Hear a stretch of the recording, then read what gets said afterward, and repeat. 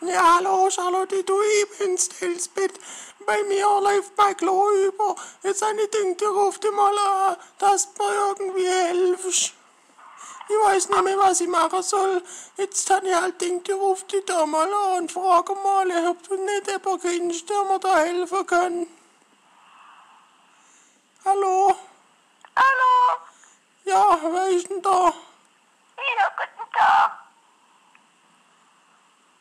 Charlotte? Ja, was gibt's denn? Ja, du bist doch nicht Charlotte. Nein, bin ich nicht, ich bin die Elsa.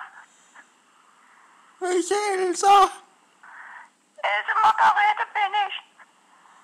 Nein, das glaube ich dir nicht. Nein, ich aber.